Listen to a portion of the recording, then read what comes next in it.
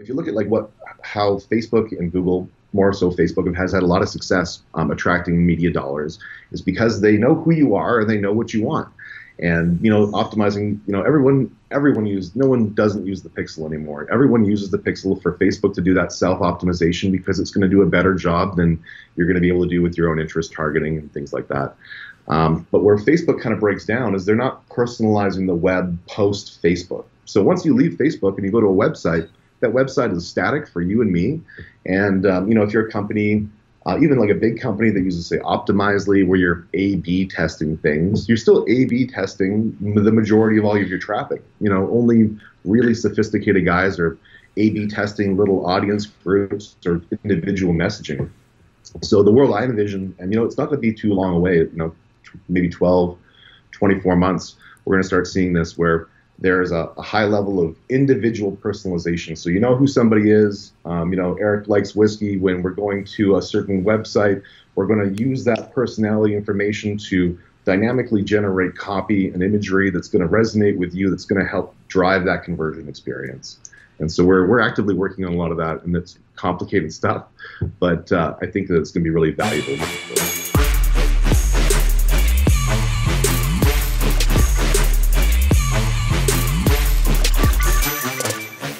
Hello and welcome to the Robust Marketer. Today we are very lucky to have a friend of mine on, Jason Kryski, founder and CEO of Strawhouse. Strawhouse is a massive customer acquisition engine, an agency that represents high growth companies. Uh, Jason is a master of Facebook ads, a master of policy. He's a mastermind at our upcoming Facebook Elite Retreat, as well as a speaker and trainer at our Facebook Mastery Live. Uh, he's from Kelowna, which is very close to my island of Vancouver Island. Welcome to the Robust Marketer today, Jason. How you doing? Doing excellent. Um, think feeling uh, feeling very great. Good to be good.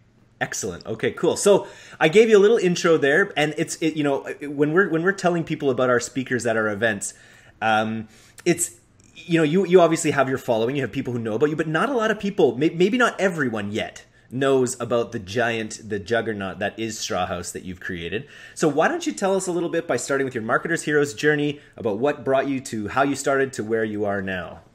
Yeah, that uh, that um, kind of presence has been largely by design. We've you know we've been trying to kind of stay in the shadows for a while, trying to you know uh, figure out some challenges in our scale and everything. So now that we're a little bit more public, um, super happy to talk about it. Uh, so I got into digital uh, about 10 years ago through email, and uh, it was kind of uh, a bit of dumb luck, but I had a you know a, a technical background, and uh, I had a friend who ended up um, getting into email work when I worked with Neverblue, which was a early affiliate. My comp- I'm employee number six at Neverblue.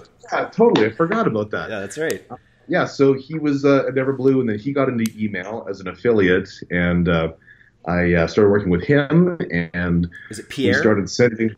Uh, no, we wasn't Pierre. Who actually was working with Pierre nice. a little. And uh, you know, we were sending a lot of email, uh, very untargetedly, to a lot of people, and uh, we really focused on the deliverability engineering, really, as opposed to the marketing. And it was just yeah. sending as many offers as we could at early days. Um, you know, you didn't really think about it from a marketing perspective. It was crafting a subject line that people would open. So we were t- together with um, that group of guys for a little while, and then uh, parted ways, and then started uh, another company um, with someone else from the island, actually, and uh, worked in email there for another couple of years, and then I realized I started to see the, the, the shift. You know, this is probably back in I want to say 2012, where um, you know, Facebook was starting to come on the scene. Um, targeted messages were a lot more um, relevant and driving a lot higher EPCs.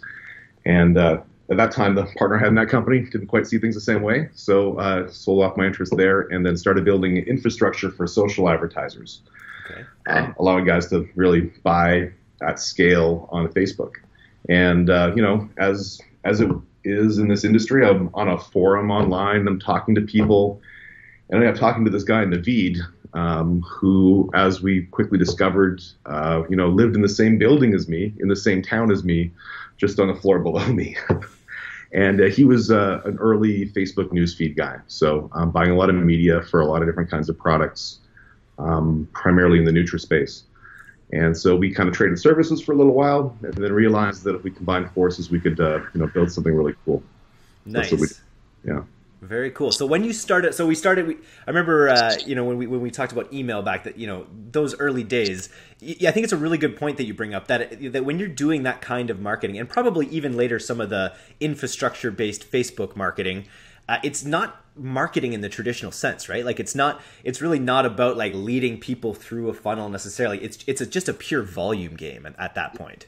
It's a hundred percent. Like we were measuring our effectiveness in like ECPM, so like earnings per thousand pieces of mail, and it was not a high number.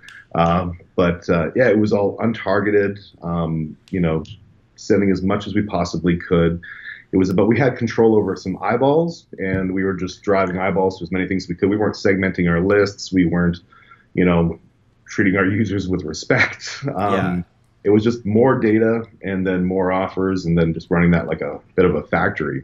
Um, and then over time, we started to see like diminishing returns. You know, as um, more and more people were sending more and more email, it was a lot harder to garner attention in that in that inbox. I spent a little bit of time when I was at Neverblue actually managing the internal mailing team there, and it was around that time that the Daily Show did a did a uh, interview with Scott Richter from CPA Empire at the time, and yeah. that one is still one that I go back to and watch every now and then because it's when Rob Corddry is basically like, so you're like a garbage man, but in reverse, which I thought was a very a very good metaphor. And he's it was before everyone realized that it was satire, so it's a it's quite a quite a good interview. You should go check it out if you haven't seen it. But it's it's funny. It's just it's the way people, everyone, so many affiliates in this business start out with that mentality, and it's sort of what's what we're seeing. I think is this mass maturation a little bit of of people realizing that the that volume game and the the the, the black hat gray hat game of, of sort of like deceiving the, the the, system in order to, to get your ads through those you know th- those are going to have diminishing returns more and more it's funny I, t- I have other friends in black hat in other areas and they're telling me the same thing that they're seeing the sort of noose tightening on these things uh, across the board. So it's you know I really think it behooves advertisers to start thinking about their businesses in a really long term fashion, which is what you guys have obviously done. Yeah, it's 100%. And I started to see that in email. You know, it was a cat and mouse game. You're playing, you know, cat and mouse with these ISPs that have these enormous resources. And I, you know, we could outsmart them, you know, on a month by month, quarter by quarter, but there was just no way that we were going to win the long term game. And I think you'll see that in email with how Gmail become very effective at filtering out spam and unwanted messages, and then uh, yeah, on the on the on the Facebook side, um, you know, car- we we weren't always in the kind of industry that we're in now. We were doing a lot of other kinds of shades of gray, and you know, about a year into Strawhouse, we made this uh, very stark decision. We drew a line in the sand. We said that we're no longer going to work with companies like that. We're going to focus on these kinds of businesses. We're going to build a uh, very direct relationship with Facebook and uh, just determine how we can kind of massage some things towards compliance and uh, work within the framework that they want to work with. And and I know that's what Facebook, you know, I've heard Facebook, they won't say this on the record probably, but I've heard them aside be like, if you're a black hat advertiser doing this much in revenue, then you have the capital, you have a lot of the infrastructure, you have the know-how, you have the intelligence to, to, to build white hat businesses. And sort of like they're really looking for those black hat guys to sort of rehab on their own so that they don't have to be shut off because they want that money as much as anyone. Hundred percent, and I really I think what it comes down to is the short versus the long money. You know, if you're focused on making you know X five figures that day versus you know you know Y hundreds of millions in the future, and so the business that we're building is really focused on capturing that long term value while generating some you know good you know immediate term revenue. Awesome. So pin it down a little bit for me about what Strawhouse is now. Uh, what kind of clients are you looking to work for? What kind of products? Because I know you're not. You're. You're. Do you describe yourself as an agency? Like, what is the sort of top line of how you, you describe Strawhouse? You know, we don't ever use the term agency because I think that creating a little bit of mystique around what you do and letting the results really speak for themselves. Um, and that lot, badass wolf logo. Yeah, it, I mean that, and then kind of the whole um, gestalt of like what we've kind of created around Strawhouse as a brand creates a lot of curiosity and a lot and when we've been able to drive a lot of success for a lot of um, other companies and use those numbers to say, hey, this is what we this is what we achieve. We achieve growth, and then we do it, you know, using a you know a mixture of media and some secret sauce and some um, experience and some insight, and we will take all of that and we will just get these results for you. And we do it on a performance basis. People are a little bit less concerned with what you call it or or how it works um, if you're willing to put your money where your mouth is. And that's what we that's really what we do. And we've been able to translate that into working with clients that are you know, private equity backed or venture backed um, portfolio businesses um, to all kinds of other, you know, interesting emerging e-commerce brands and uh, companies where performance may not necessarily work or look like it's working on the outset, but once you kind of massage a funnel and then provide a little bit of education and consultancy, then you're able to get something that works at scale. Very interesting, and that and that is an approach that I hear more and more. So, like you know, if you're getting into e-commerce, a lot of people are, uh, you know, looking to drop ship and they're looking to, to to flip products from from Alibaba or things like that. But the people who are really winning uh, long term again with e-commerce are people that are focusing on the marketing. They're focusing on the the, the, marketing and then partnering with people that already have the products in place in a lot of ways. Uh, yeah. And they have the the returns, all the headaches that you get from drop shipping, whether it's return rate or complaints or shipping times or all those things. It's so much better when you can find a company who has all that stuff locked down but sucks at the marketing, and that's where you can come in as a Facebook expert. Yeah, you can take an offline business um, that's not direct to consumer, take them direct to consumer. Um, we have a, a new, um, I'm going to mute Slack.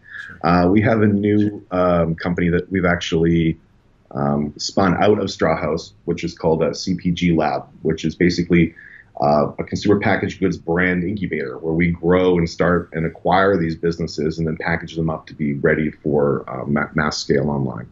Very cool. So you're working with clients like this. Um, I'm, I'm, are you still doing affiliate stuff? Is there still sort of affiliate stuff happening in the background with your media buying team?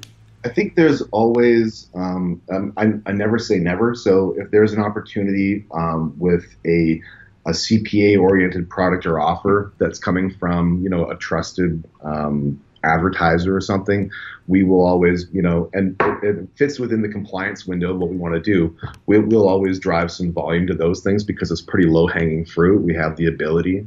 Um, so it's it's always nice to kind of keep those things around, but it definitely is a lot less than it used to be. And direct, I'm sure, always, if not whenever possible. Yeah, we only work with uh, AORs or advertisers directly. Um, the not only from like uh, being able to tighten up that margin opportunity, but also from a level of control. Um, what we find is that there's a lot of things, the experience and knowledge that we have as to how the pages need to look, or the language, or the funnel, and when you're working through an intermediary, it's very difficult to be able to communicate that effectively and have that things turned around in the time frame that's effective.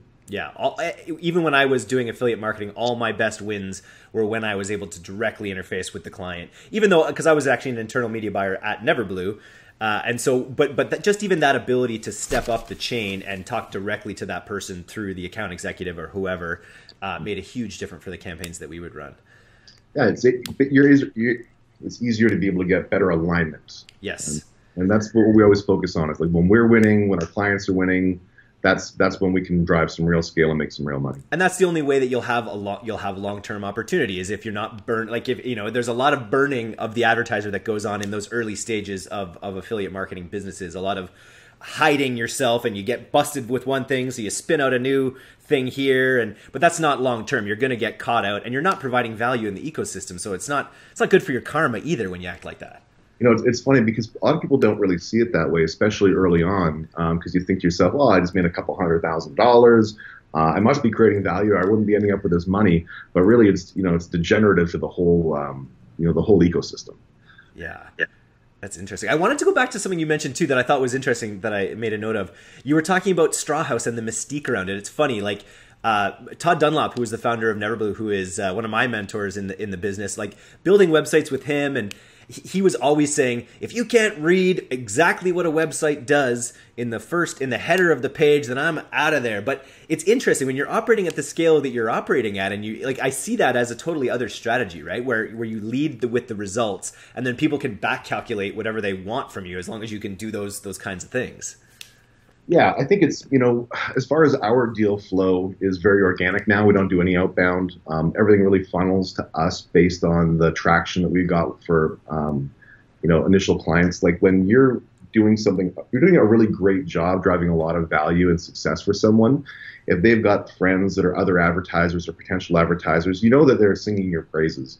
I mean, we've even had some relationships that didn't work out very well because the offer wasn't well suited to be scaled but the we have referrals from those people, and it, that comes down to like you know how you treat people, um, treating with them respect, and um, you know we're very candid about what we do, um, and you know being open in a sense where people are very much uh, aware that that you know what you're doing and that you know it better than they do, and that if you create the right economic incentives, then they can just kind of sit back and let things happen.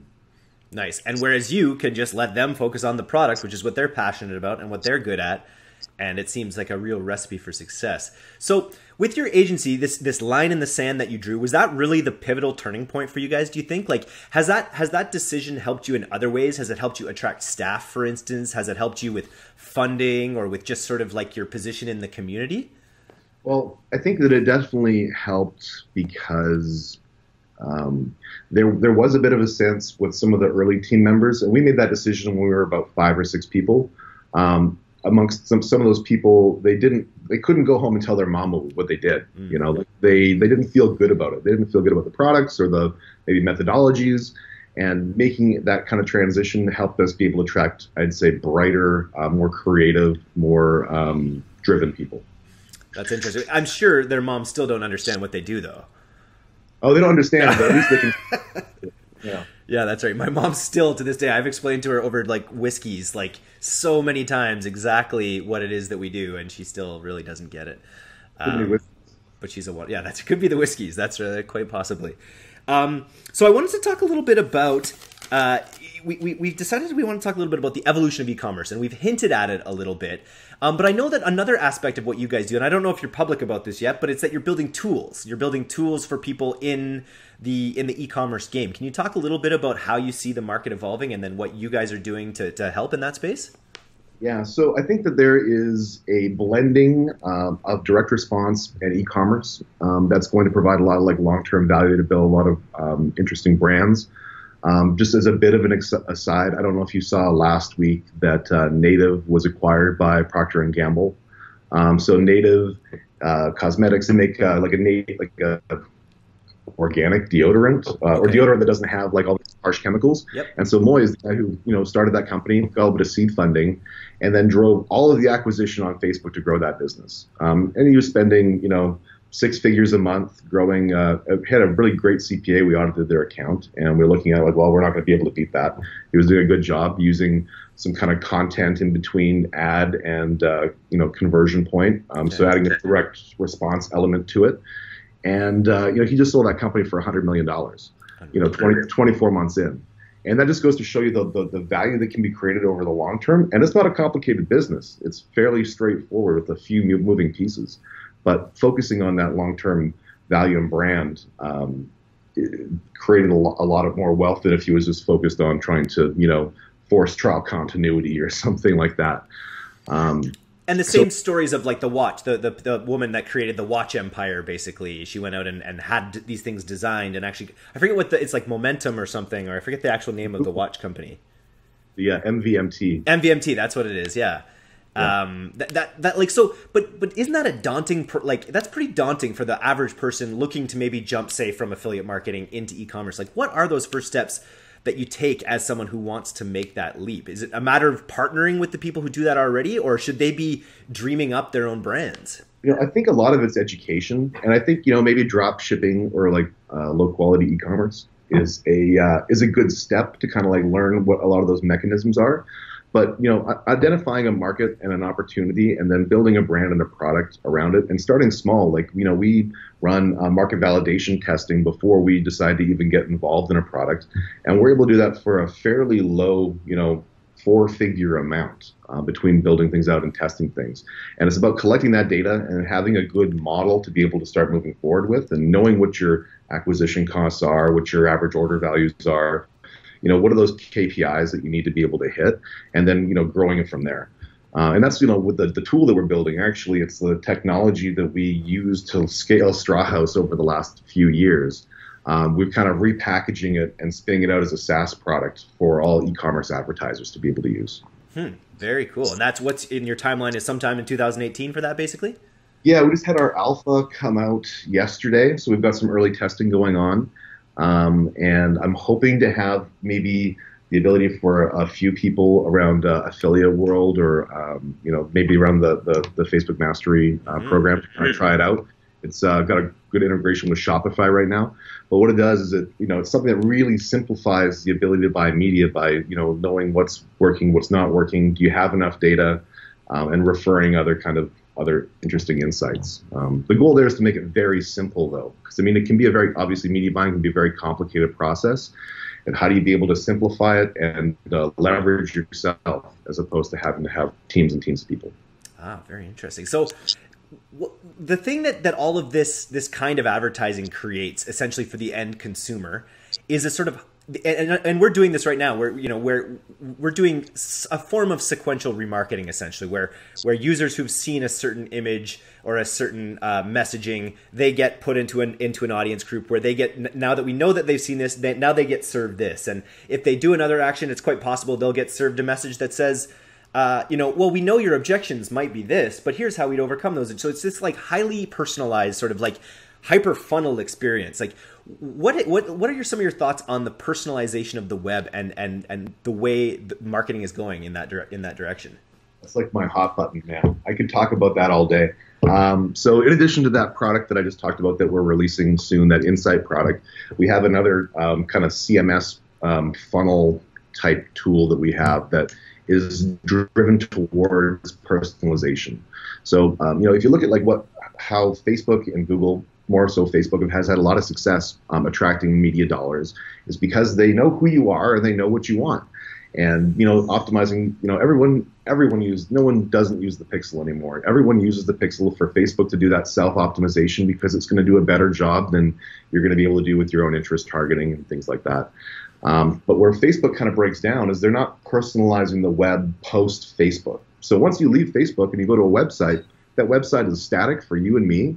And um, you know, if you're a company, uh, even like a big company that uses say Optimizely, where you're A/B testing things, you're still A/B testing the majority of all of your traffic. You know, only really sophisticated guys are A/B testing little audience groups or individual messaging.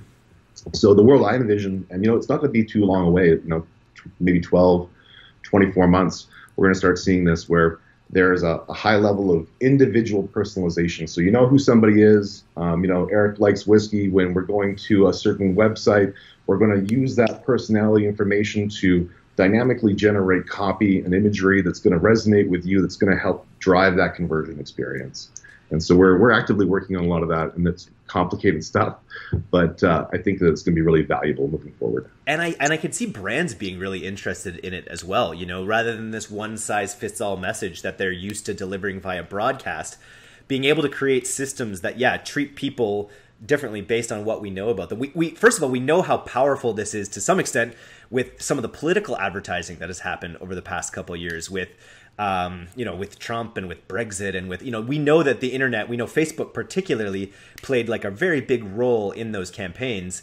Um, and, and, and so it's in, it's going to be interesting to see. It's funny. I just I did a, a pitch recently for uh, a, a, Canadian company, a content company, and uh, and we were talking about sort of marching people through a sequential thing, and it's it's it's incredibly how powerful funnels in general can be, and when they get applied on a massive scale, I could see it being a huge huge impact on the industry yeah, certainly. I think that the uh, the recent political cycle in the U.S. was really illuminating to see, you know, exactly how effective it is. Um, and I'm kind of a little bit conscious of what this may mean for society. But like, if if I don't do it, someone's going to do it. I mean, I'm sure other people are working on it too. Um, Russians are for sure. Yeah, yeah. I mean, it's the political stuff. I mean, that's a whole different conversation. Uh, but yeah, I mean, the ability for uh, me to go to a website and for that um, website or that data layer to know that I have certain interests and certain, um, you know, behavioral styles that's going to lend itself to a different kind of sell and a different kind of um, you know perception being created to it is, is only going to increase conversion rates. And combining that with um, you know uh, algorithmically driven multi-arm bandit experimentation where you're constantly shifting and testing, I think that's one of the things that people kind of get locked into is they create a website, they do some testing, they get the conversion rate to something that's that's good enough, and then they've I've seen advertisers leave it there for years. You know, the world's constantly changing. Consumers are constantly changing. Um, so you need to be always testing, and uh, that's you know part of this product we're building where it always tests a certain percentage of your traffic. Um, yeah, it's it's going to be uh, it's to be interesting to see the effects of it. I'm very optimistic about it. I remember some of the big challenges because at my last company, it was a mobile DSP, and and some of the challenges of actually tracking users across sessions and things like that is very difficult outside of the walled garden of Facebook. Is that is that all done through through like uh, like server postbacks and, and device ID matching and like is that stuff also because I know it's funny like people want to, people's two biggest complaints about the internet are oh you know like these ads are never relevant to me and ads are creepy like well what do you want you want relevant ads or do you want you know what I mean like is is that a big is that an issue that you're running into especially outside of Facebook? Um, I think like from a technical perspective, there's definitely challenge as far as using the data to start tying things together. Um, I don't know how much I can comment on that. Like that's kind of the sauce. Yeah. Uh, so uh, it's definitely a challenge. I think that um, people were they feel like the ads are creepy. Um, that has more to do with kind of how the how the ads are working. So I think uh, one of the primary things that you can do there is like is frequency. So if you're retargeting somebody and like so on display and you got recency and all this stuff, or even on Facebook, if you know if you've got a retargeting campaign that's got a frequency of like that's gone above three, you're going to start to piss people off. And that's when when people start to notice it, that's when they start to take action against it, and it starts to cause brand degradation. So it's about being smart about that retargeting, and then continually repositioning different messages, and then maybe going through and changing the funnel a bit so you re-engage them in a different way. Um, yeah. And, yeah, make sure that when you are hitting them for a new cycle, you're at least saying something different, or at least you're, you're, you're showing a new angle of the product potentially.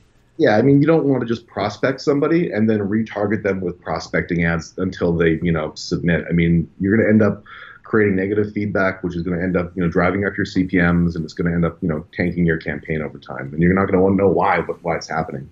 Yeah, it's uh, it, it's just amazing to me how much sophistication there is still to come in the advertising space. Like we're, we're you know, you go from being uh, thought of as a the Wild West, you know, which which which is the space we both came out of, this affiliate marketing space, to to, to all of these skills being highly valuable in in a in the performance environment for the wider audience, for brands and things like that. So it's it's really exciting to see. It, it is. I mean, and it's funny because even you know I have this conversation all the time. Even granted, all like as far as we've come, um, I'm still confronted with like, why is there not a tool for this, or why is there not a good solution for this? Like, there is still a lot of work to be done to be able to um, create simple, you know, levels of automation and, and insight. And uh, you know, there's a, I think people in the performance industry because of the expertise that we have with how things actually integrate and function are better positioned to advise and create that kind of technology. Nice. Okay, so let's talk a little bit about Thailand. Thailand is uh, a very magical place for me personally. it's where I went right after university. I went there and I taught kindergarten and winged it for a year with my film degree. Uh, and it just and that's actually where I met my wife, which is why I now live out west. I went back there last year and I got offered this job. I went back there again and did a webinar and so and I, I, and sold a bunch of, of these courses. It's just this incredibly magical, powerful place for me. I'm so excited to be going back. And we have you booked. You're you, you're at AWA as well. You're doing the full gamut. Yeah. You're speaking at AWA, yeah. Facebook Mastery Live, and the Elite Retreat.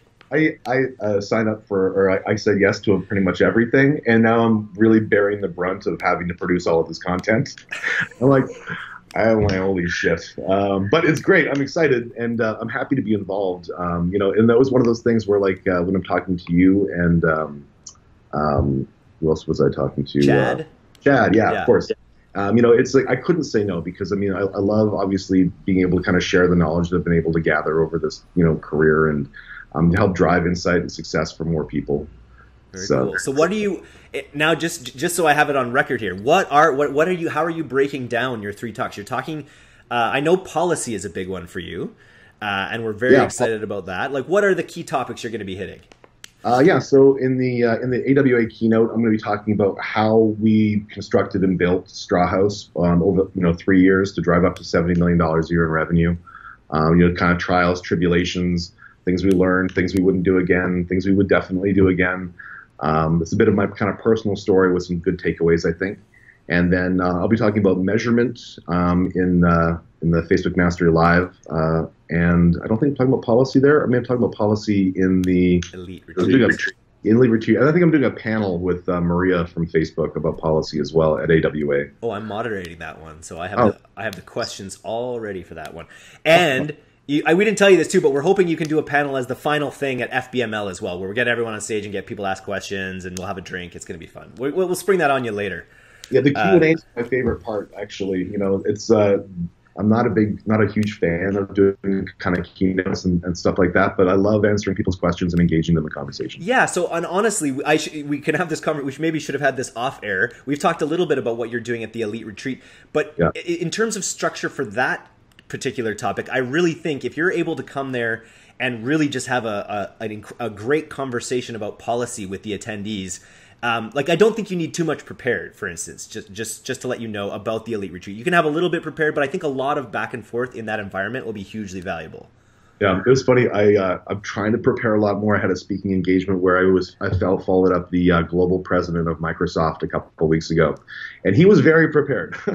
I was less so prepared. Um, it was a stark contrast. So I'm trying That's to kind of my game a little bit, um, but I'll keep that in mind. Yeah, keep that in mind. I know the Tans, for instance, were like, we have never created a presentation for any of our talks, and we don't intend to start here. We're just so they obviously are providing a lot of value in what they do. So I think I think, and especially at this elite retreat, it's going to be we want it to be fairly free flowing and uh, yeah, I'm just just the level of the a the speaker uh, level of the experts that we're bringing to the table for this thing, and then the level of the attendees. Like we're just getting people from all sorts of different walks, whether it's uh, e-commerce or uh, agency or lead gen or you know gray hat affiliate stuff, and everyone is on board with the mission we're trying to do there. And I think we're going to be able to create some pretty special uh, some pretty special moments. I would say.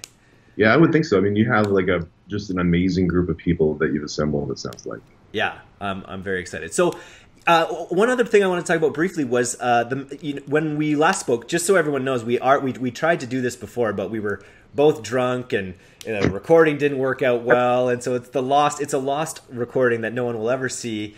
Uh, so, you, you were doing it from like a 2G you know connection or something from a dial-up modem. It was just cutting out here and there. But we, you were at a mastermind, so yeah. I'm, I'm curious, as someone who is at the the level that you're at in your career, why do you attend masterminds? So, I mean, that mastermind was something that was put on um, by uh, Joel uh, from uh, BioTrust, and he grew a uh, supplement company from I think within three years they grew to 120 million dollars a year in, in uh, annual revenue.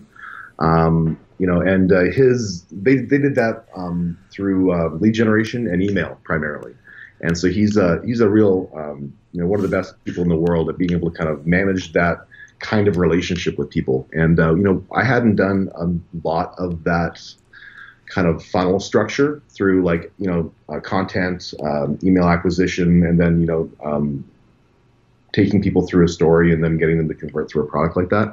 So uh, there was a lot I knew I could learn. I mean, it was uh, you know, if you're looking at like how much like these really um, these things chart, I couldn't believe actually how this is like a plug, but like how how inexpensive the the Facebook event that you guys are putting on in Thailand was compared to this other event was uh, I money multiples more. Wow. And wow. yeah, it was. Uh, but the value we got of it, you know, it'll pay. It pays for itself within a couple of weeks if you apply it, and that's really the, the kind of key thing is to be able to apply it. I go to those kinds of events to really, um, you know, get more information, get a different perspective.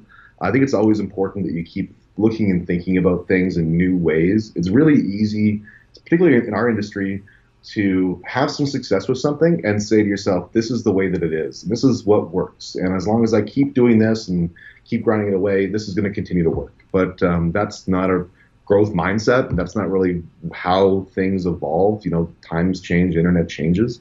Um, so constantly consuming more high level information is uh, is really valuable able to add new business units or new strategies into our business. Yeah, and, and, and if you're, you know, this is a Facebook ads mastermind, if you're spending five figures a day or even four figures a day, you know the tips that you generate here are going to be able to yeah impact your business if you apply them very quickly. And then the connections you make like I'm, that's another thing. I think we're bringing people that represent different brands and i, I really think there's going to be some and you know there's going to be an effort to kind of keep this group together as well with uh, some slack some slack chat channeling and, and talking throughout the year potentially. So i think there's a really good opportunity to, for everyone to kind of grow their personal network in some exciting ways.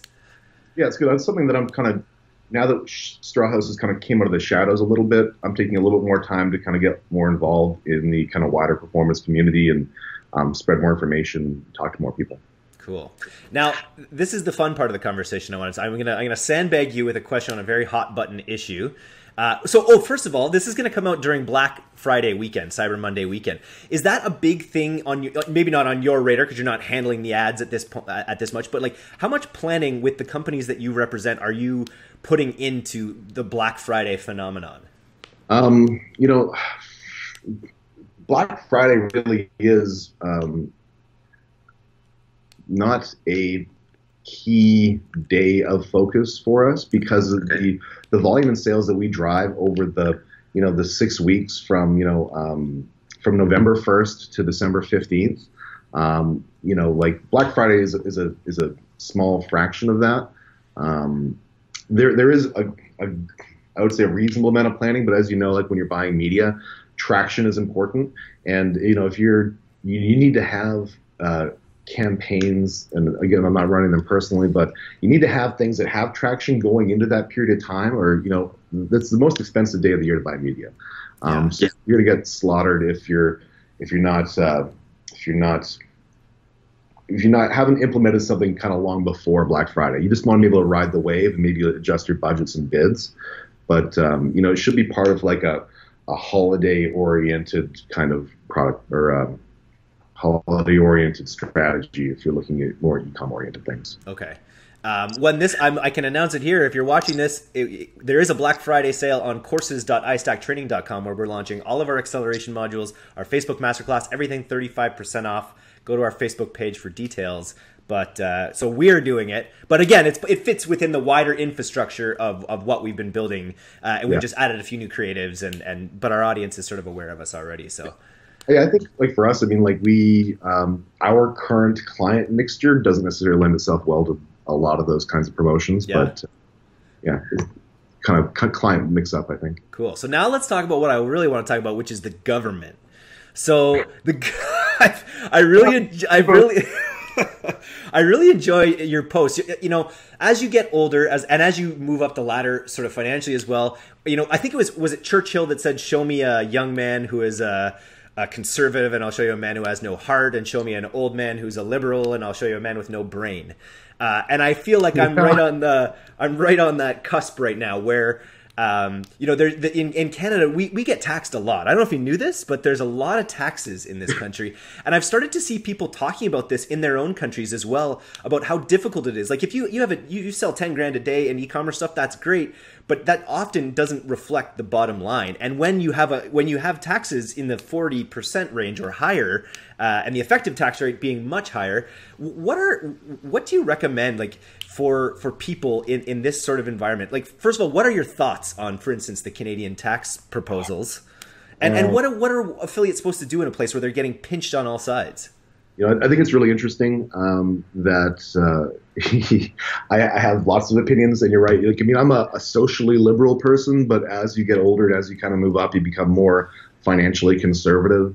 And uh, you know, these things like taxes. I mean, when you're a one-man kind of hitman in uh, internet marketing and you're working from your basement or whatever, um, you're making money. You don't. I mean, the, the number of people that I know in this industry that didn't realize they had to pay taxes is a list longer than my arm.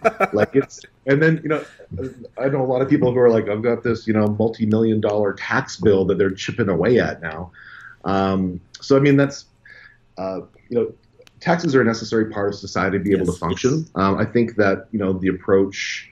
Um, of like increasing that, like you know, recently in Canada, obviously Trudeau, who's trying to tax um, you know money sitting within a corporation that might be used for other investment purposes is you know a bad idea because it's going to negatively affect the economy. I mean, I make quite a few angel investments in different kinds of technology companies. And, uh, you know, if that measure came to pass, it would limit my ability to be able to invest. Um, and that's not a good idea. Um, that kind of stifles innovation and creativity and will drive that to other jurisdictions. Um, now, I think the benefit for a lot of people in performance, you know, globally, is that there are, um, and I don't do this myself, but there are advantageous jurisdictions and structures to be able to create, um, you know, tax mitigating opportunities.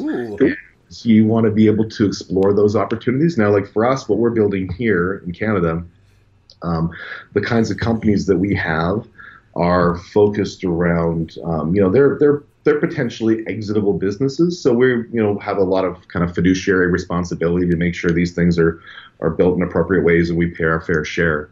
Um, but you know, if it was, if I had a different kind of business, or if I was living in Thailand, I mean, I'm sure I would have a bit of a different view on it. If you only get paid in crypto gains, like there's no, like that's going to be the next round of people getting hit with taxes, right? Is the people that had their ten thousand percent gains this year, and uh, and yeah, how do, I don't even know how that works uh, for crypto. We got paid for our, a course. I hope the taxman isn't listening, but we got paid for for the elite retreat. Actually, one of our guys paid by uh, in Bitcoin. So yeah. I don't even know how to report that. You know, it's it's really interesting. I have a a, um, a blockchain Bitcoin company that I've invested in that actually takes other companies through ICO. And I'm looking at this whole thing, and uh, I don't personally have any crypto holdings because I have uh, the same kind of like those kinds of questions about taxation, regulation, how that how governments will start to kind of you know look at um, look at the blockchain and look at this kind of decentralized currency. Um, you know, maybe that's the wrong view. You know, maybe I'll change my mind next week and go buy a ton of Ethereum or something. Uh, but I think that's probably like right now it's not a bad idea. Yeah. Um, I like I'm trying to hedge my bet by investing in companies that are doing work in that space. So I'm not like you know I've got a bit of a buffer there. Um, but yeah, I mean it's it's you know that's really, I mean, if I could get paid in, in, Bitcoin and not be settled somewhere else, I mean, obviously that would be preferable at the time. It, it is. It's, it's, it's very, it's still, in, I understand the principles of it, but it, it's still such an intangible thing that it is, it, it is sort of nerve wracking. And I do have some crypto holdings. If I can remember my wallet password, then yeah. I'm, then I'm down. I mean, I see things like a couple weeks ago, that one guy, he had a wallet that he'd um, coded and then he blew up $200 million worth of Ethereum by accident. I mean, that's kind of saying to me that's a little bit um, you know that there's a such a high degree of um, in, insecurity you know there it's uh, it's challenging to understand you know. I wouldn't want to put you know too much in, in there at this point in time. Yeah. The the anecdote that, that triggered this question about government actually was my wife who's a CPA came home from a, a recent uh, conference that she went to where this guy was really trying to put the fear of God into all of them, saying like, okay, the boomers, they're not giving their money up. They're, you know, they're hoarding their money away. They have all the loopholes and they're not spending it and they're living way longer than we thought they would because of all these health improvements and all these supplements that people are mm-hmm. pushing out there that are causing people to live longer. And then we've got this younger generation, which I don't know how much this is true. That he was characterizing the younger generation as, you know, precious snowflakes or, you know, millennials who don't maybe fit into the same systems that we've that we've strove to build or that we've kind of conformed to. That they're this sort of like flower generation and they don't want So basically, what he what they were saying is that the governments of the world are going to be putting the tax debts and the tax burden squarely on the shoulders of yours truly and and you know this generation of, of entrepreneurs. And that's something that you yeah you, that it behooves you to kind of speak out against if you don't like that concept. I don't know how much fear mongering it is but i thought it was a pretty scary proposition you know I, I think it's something that's becoming more and more reality as we understand like as the kind of global financial picture becomes more and more muddy and less and less clear about how it actually fits together i mean if you look at companies like apple and google who obviously squirrel their money offshore um, you know, Trump's plan is to like drop taxes way down, so these guys start to bring their money back. I mean, that actually might work, um, but you know, it might be disastrous. It's hard to really know. Um, you know, you're, it's a good point though. Like, there's um, a lot of uh, you say boomers that have squirreled their money away, and they're not intent on on uh, on paying their fair share. Boomers, man, the greatest generation. My foot. Um, okay, so here comes a sandbag. So this is something that's uh, you go on Reddit today, and it's every single subreddit. Everyone is going off on on net neutrality and saving net neutrality. And I have been down enough sort of right wing rabbit holes with, with Ben Shapiro or some of these other people to, to hear the other side of the idea of net net neutrality. And I'm curious to know where you stand at because I know you're more um, fiscally conservative uh, and and maybe even politically conservative at this point, socially liberal. But when it comes to something like net neutrality, I'm curious as to where you stand because I've heard some interesting arguments against the government having a monopoly necessarily on telecom, and especially coming from Canada, where our internet costs are just astronomical compared to the rest of the developed world. I'm curious to know what you think about net neutrality. So this, I'm a free market guy, and I think that you know in Canada, um, our those information technology costs are high because as a country we mandated that if you're living like you know 500 miles from the Arctic Circle, None you still yeah. You got broadband, but there's like eight guys there, and it costs 300 million dollars to lay a line. But it's a human right, so they need it. It's human, yeah, I mean, so these are the, the challenges that we need to understand. It's like you know where, um, the, I think the decision we need to make is like what, you know, where do we kind of sit on that kind of free market versus human rights side? That and that's kind of the argument. I don't, I don't, I can't say that I know enough to have a really strong opinion. Um, obviously, you know, these companies, um, if they can't do this traffic shaping that they want to do, are incurring these additional costs that these other technology companies are bearing the benefit from. Um, but at the same time, you know, I can obviously understand that I don't want to have to, you know, add, um, you know, YouTube to my internet package or, you know, Netflix or, you know, I don't want it to become like, you know, the, the argument against it is like, it's going to end up being like a cable package where you got to select the websites that you want to go to or get faster. I mean, that's kind of terrifying. I mean, I've built my whole career in business on the idea of like a free and accessed uh, information. Um, you know, it's it's a really hard fucking question. It is a really hard fucking question because, uh, and just like news, any news now, you're you're hearing all shades of it, all sides of it, extremes. People are saying this. You know, the fact is, if net neutrality is taken down, it'll be the worst and and you'll have to pay for you know I won't be able to access my right wing news sources anymore I you know or my my conspiracy stuff will be wiped from the internet you know all, all of these things but it's but but the the arguments for it that I've heard are just about how it will cre- it will really create a free market so that if there's a need for it it can be catered to and it can be costed out at the correct amount Yeah. but I don't know. We may look back and be like, "Oh my God, this you know we had we, these were the halcyon days of the internet when when they were you know when when you had all this free and equal access." Yeah, I think that you kind of got to look at like this is already happening, right? And they just want to be able to have some legislation in place to protect what they're already That's doing. very true. Yeah, how many times have you been streaming Netflix or whatever? And you, how many times can you been like, "Yeah, they're throttling me. I'm getting throttled right now." Yeah, and, and like and the, uh, you know obviously have like torrents and things like that throttled in the past. And uh, if you look at like what's the uh, speedtest.net everybody uses, so Yeah. like if you like Time Warner, they know that you're using speedtest.net to check your connectivity, so they artificially prioritize that traffic to make it look like your connection's really high. So I don't know if you saw what Netflix did recently, where they added in um, you can do like a speed test on Netflix.com. So if, if, if Netflix is being throttled, you can tell. So if Netflix is like, well, if we start prioritizing our traffic so that that bandwidth um, or that speed is higher, then that's basically a win. Um, it's like a backdoor trying to get that to work. But um, yeah, I mean, it's it's already happening. They're just looking for some sanctioning around it. Yeah. Well, I think you very effectively danced around that question. I think that was uh, that was very diplomatic. Speaking of diplomacy, uh, you're you're a, you're such a you're a well spoken guy. You're a you're a respected businessman. You have political opinions. Do you ever you, you ever uh, you want to announce it now? You want to announce uh, any future political runs or anything? candidacy candidacy for uh. No, I think that like you know what, and this is uh, I think this is just good advice. Um, somebody once told me, you know, like the there's probably a good adage for it, but it's like the guy who's kind of in the front is the guy that, that you know bears all the all the brunt of all of all the public uh, or whatever it is. Um, I know a lot of really successful business people. They are not the front people for what they're doing. They are just uh, they have um, you know operational people in front of them doing the things that they do, and they have like this plausible deniability. And uh, you know like the the vision I have for the kind of um, business and company and you know group and fund and all these things that I'm looking to do is really to have other people go and do these things. And uh, I'm certainly happy to back you, Eric. If you ever start to want to run for premier or something, I will okay. I will fundraise All right, but you want me to take the bullet, is what you're saying. Yeah. You want to put me a human shield in the front. All right. Don't put me in the back of the car in Dallas or anything like that. Yeah, that's right. Okay, well, you can be the puppet master. You can be the. Uh, that that sounds excellent. Well, Jason, thank you so much for coming on the Robust Marketer today. I'm glad we got this done, and uh, I really look forward to seeing you in Bangkok. It's going to be a lot of fun.